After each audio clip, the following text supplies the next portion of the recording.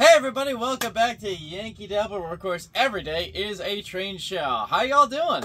How you been doing? I've been doing great. You know what I've been working on? What you working on? I've been working on my newest album called DJ Plays Random Bells Found on Railroads. Check Oh, that this should be cool. Here is a uh, Nickel Plate Road, Berkshire.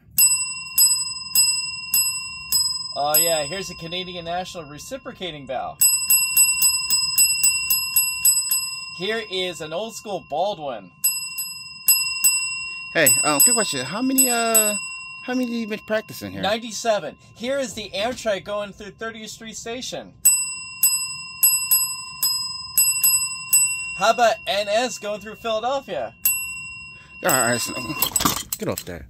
Alright, come on. Alright. We'll play the video. rest later. Anyway, what we got going on here is some brand new items that hopefully will find their way on your railroad. And we're going to start with some Bowser trailer cars. Are you ready for these? They're called road railers. Road railers. I thought they were called trailer cars. All right, we'll we'll have road railer trailer cars. How about that? We'll we'll combine them. What I have happening here is I have various different types of these road railers here, and of course they are all the triple crown. As you can tell, I have different variations. That one has a CN uh, that's been kind of painted over. Same thing, I got a little swift action happening there, and then of course that's a nice basic one here. Now these used to be shown all over the place here. You can still see them today on the rails, although they're not as uh, popular. But one of the neat things about these cars here, if you take a look, it's literally just the truck or the tractor trailer rather, and then you have the Bogie. wheels. What do you call it? Call them bogies. Ooh, we got the bogies. All right. So you need a lead truck to put the wheel up front here. You have a nice long uh, trailer train here. I really enjoy these things. I think these are really neat, and the price is pretty good too. The retail value of these cars are $29.95, but we're selling them here at Yankee Dabbler for $23.99. So if you're someone that really likes tractor trailers, you can like trains, I think you should just put them together. What do you think, Engineer Hall? Oh, I love that idea. All right. and so- also you could it's so uh economical, you can have a whole long train. That would be great. So come to Yankee Dabbler and get these rolling on your rails today. Those road railers look really good, and you know what also sounds really good? My impression of the GG1 going through Holmesburg. Bells. Where you get this bell from? Where my head at? Anyway, so we got some new cars we're going to take a look at here. We have here from Walther some wood chip hoppers. I only have a couple of them in stock, but I'm getting three more in. But let's take a look at the ones that we do have in here. We have a nice yellow one. And guess what? A nice uh, green one. But guess what? I have three black ones coming in. You want to know what the road names are? Okay, you ready? You ready? Hmm. You want to guess? Um Nope. Norfolk Southern. You were close. You want to guess the second one? uh nope. CSX. You're wrong again. And what you want to guess the last one? eh, no, it's Southern. Man, you're bad at this. Anyway, so I have these um, wood chip hoppers here. We have seen these before. This is the next wave of these cars here. And just take a look at the detailing happening on here. These are really cool looking cars here. Now, Engineer Hall, what do you think you could put in a wood chip hopper? uh what chips? Oh, Oh, oh, you know what? Trash. Ooh, trash, trash, really? yeah. So you're putting Congress in here?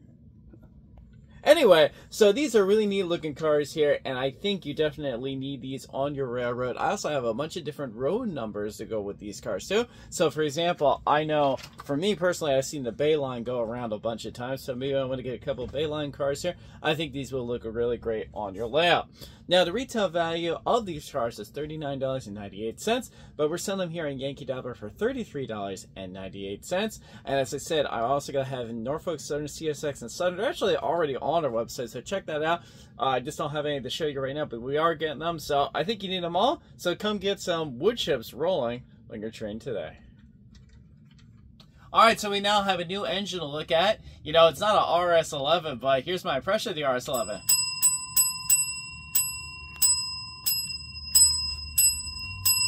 Hey, um Yeah. give up the bill. But it's so good. Check it out. Thank you. Stop taking my bells, Engineer Hall.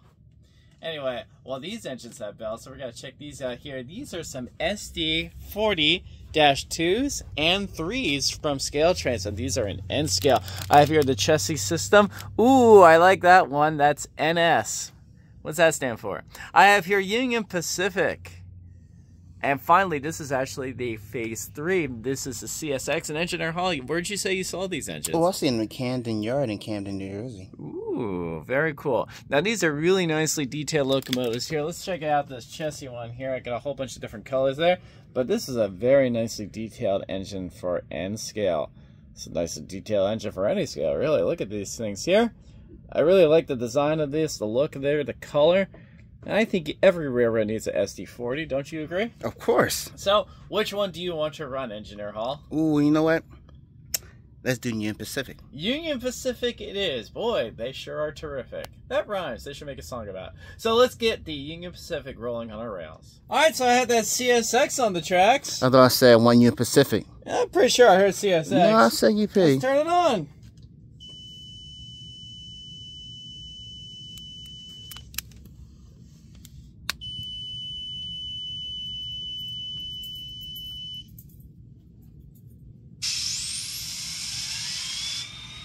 Well, that was different. Let's take a listen to the horn. Whoa. Let's listen to the bell. Can you go with the bell?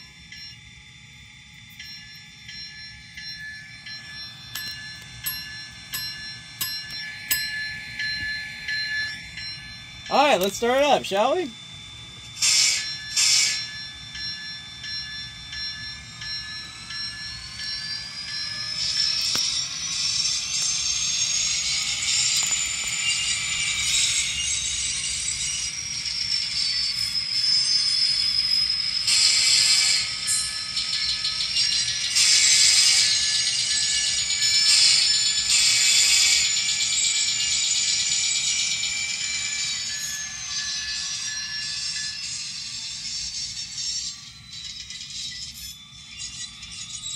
Back it up. Hey, look, ditch lights.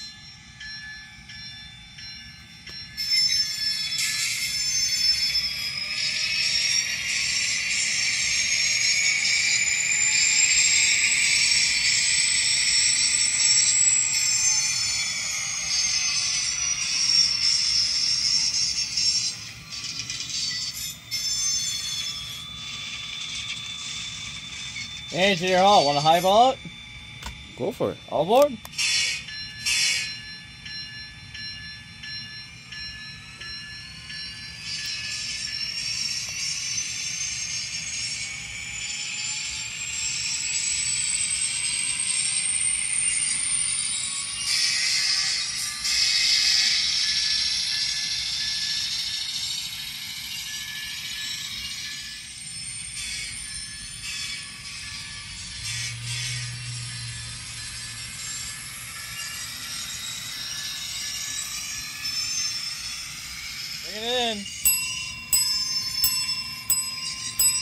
That bell sounds great. Man, that's really realistic sounds. Okay, anyway, so those scale train engines look good, they sound good. Sound even better with me. Now the retail value of these engines is $309.99, but we're selling them here at Yankee Dabbler for $249.99. Also deal to get on these engines. In my opinion, I think you need all four of them. Don't, wouldn't you agree, Engineer Hall? Uh, I need four of the uh let's just the NS ones have two back to back sets. Ooh, okay. So we need eight. No, no, just need four. 12, 16, all of them. I want all the engines. Anyway, so come to Yankee Dabbler and get these things rolling on your fleet today. Engineer Hall, you know what really excites me? What's site you? Uh, Strasburg 90. Bring it one more time. I, I guarantee No. everyone's loving this. This is not not eh, not annoying No. whatsoever. no. My wife loves it, and I'm sure my second one will too. Anyway, so what I have here is I have some U-25Bs from Bowser. These diesel locomotives here and see what they look like. So first of all, I have here the Rock Island. That is a really sharp looking one here. And then I have here the L and N. I have here the C and O. Oh, this one doesn't have letters, but this is actually, I think it's uh, a ex New Haven Penn Central engine. And then finally, I have here the Pennsylvania Railroad. Now, the U-25B is a very interesting locomotive, kind of, you know, towards the early stages of American railroading in terms of diesels. But the neat thing about these engines here, check this out. What type of couplers are those, Engineer Hall? Uh, what? They're metal. Oh, we got I- metal Oh, couplers. I thought you meant like with Oh, the. Oh, well, no, I I don't- say E or F. I'm no, we don't have Ken here to tell us the, the history of that. But check this out. I mean, you know, I got the bell detailing happening here. I got see-through vents here. This just looks great. Wouldn't you agree, Engineer Hall? I like that red. This engine kind of reminds me of McDonald's a little bit. I'm loving it. Yeah, I think you'll love this one too. Why don't we run the Rock Island? We don't really run Rock Island. So let's see what the U25Bs. So we got that Rock Island on the track here, so let's hear what it sounds like. Let's start her up.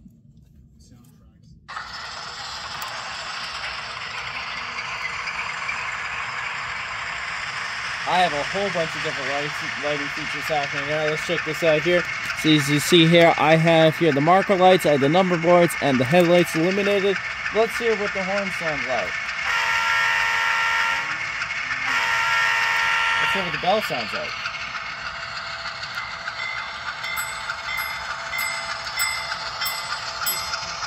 Oh yeah, that's a good one. I'm gonna add this to the next album. Let's start up.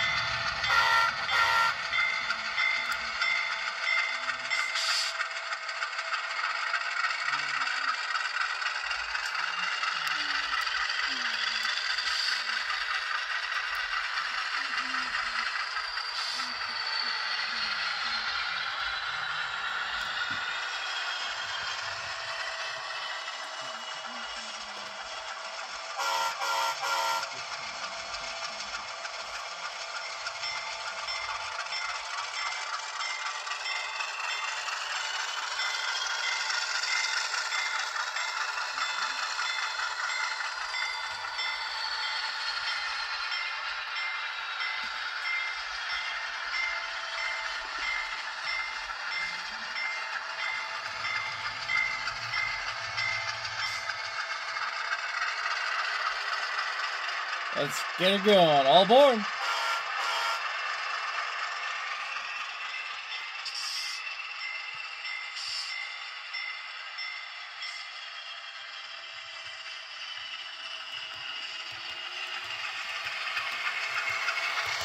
One to the couple.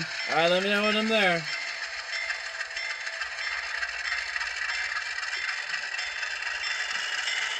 Half. Truck. Far enough. Let me know. Far enough. Am I good? You good? Should I stop? Yeah, you should stop a cargo. Okay. All aboard. I gotta make it very prototypical.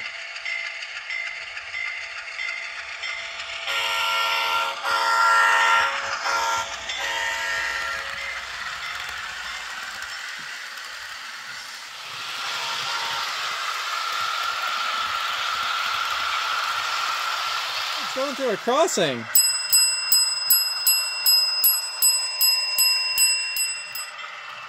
Pulling in. Let me know when to stop. You good right there. What'd you say? I, I say you good right there. Good where? Right there. Where? Stop. Okay. Did I do it? No. Alright, hang on. I got it. I'll fix it. Coming back. Alright, let me know when I'm good.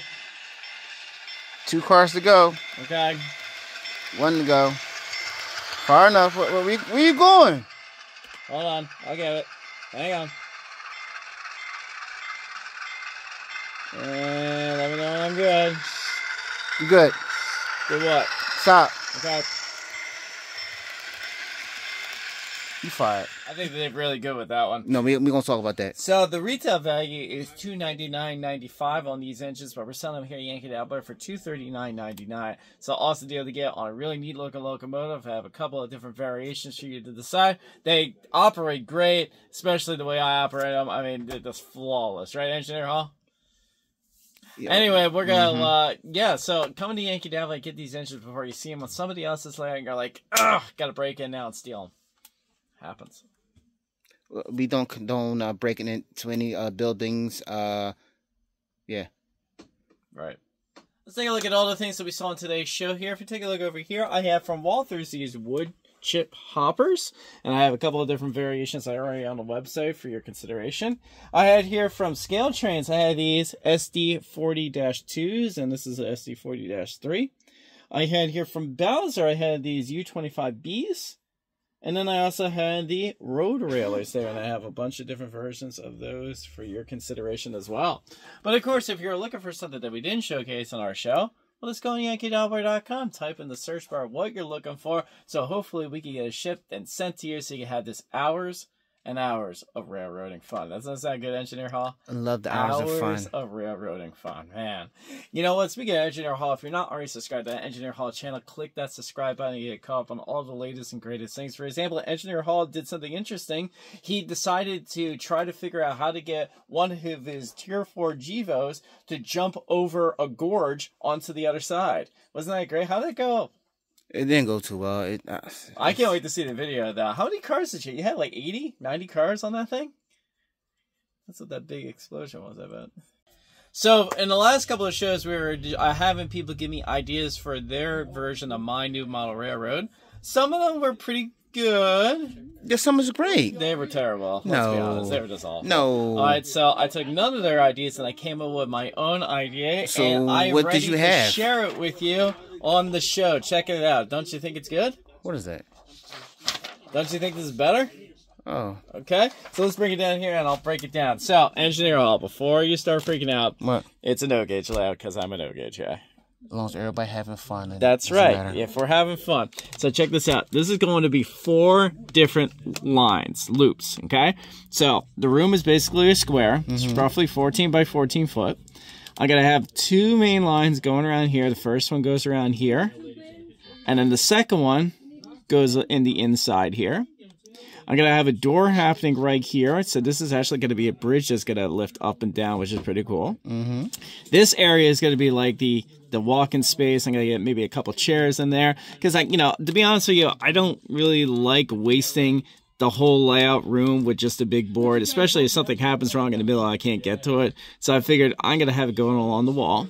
And then I'm particularly proud with this area. We have all these switches and whatnot, and big yard. But you see these two loops right here, Engineer Hall? What's those? Those are underground.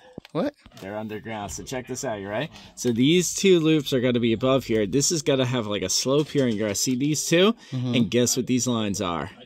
Um. Amtrak and Norfolk Southern. Ah. So all my modern trains are going to run down here. You're only ever going to see it in this spot here, but I think that's kind of cool because I can kind of space them out so you like don't know what to expect.